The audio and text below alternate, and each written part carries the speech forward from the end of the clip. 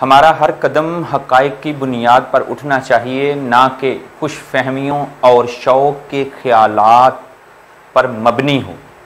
क्योंकि ये सबक कुदरत का सिखाया हुआ है।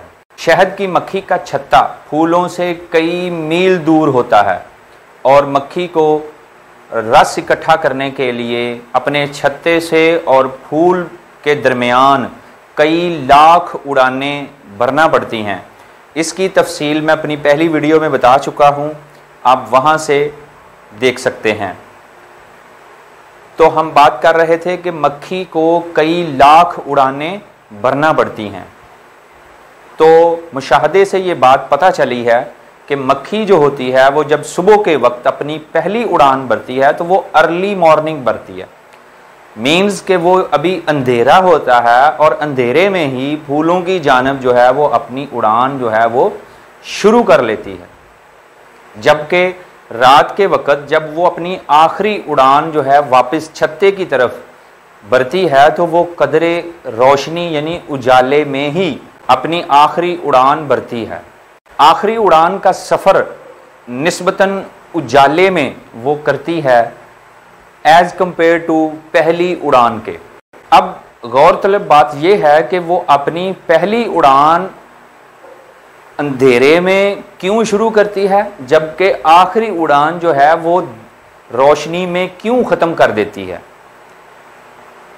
और उसको ऐसा कौन बताता है? ऐसा करने के लिए उसको कौन बताता है? तो यकीनन उसको कुदरत ने ये असूल सिखाए हैं कि जो उसकी पहली उड़ान होती है, वो अंधेरे से उजाले की तरफ़ सफ़र कर रही होती है। यानी उसको पता होता है बैक ऑफ़ द माइंड उसको पता होता है कि इस अंधेरे के बाद जो है वो रोशनी होने वाली है।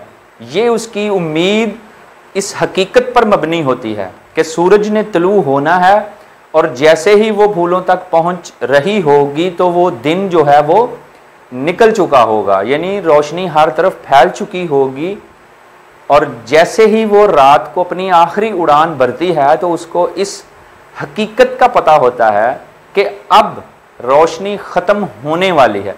वो इस उम्मीद में नहीं रहती कि अभी मे भी रोशनी रहे, हो सकता है अभी और दिन हो हो सकता है कि ये रोशनी कभी भी ख़त्म ना हो।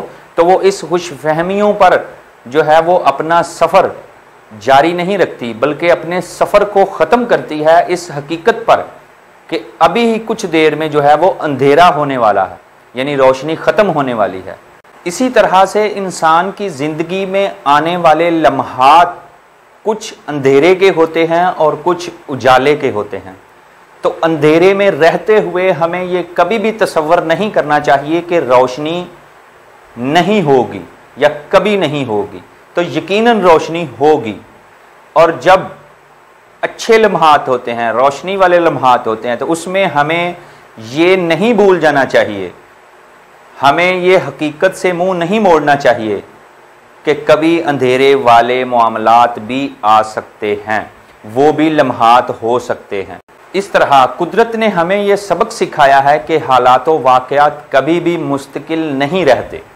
तो इसलिए हकीकत पसंद बनिए, बेखबरी के समंदर में बहते चले जाने से बेहतर है कि आप हकीकत पसंदी को अपना लें और उसके लिए कुछ प्लानिंग कर सकें। हम अपनी एफर्ट जो है वो पुट कर सकें और अपने जहन को ये तैयार कर सकें कि ये जो अब अंधेरा आने वाला है, इसके बाद सवेरा भी आएगा। इस उम्मीद के साथ हम खुद को बाँध सकें।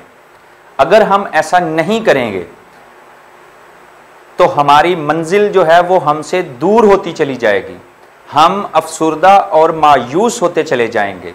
इसलिए शहद की मक्खी को जो सबक कुदरत ने सिखाया है, यकीनन इंसान को मुशाहदे की जो अकल और समझ अल्लाह ताला ने अता की है, वो इसीलिए अता की है कि ताकि तुम गौर फ़िक्र कर सको।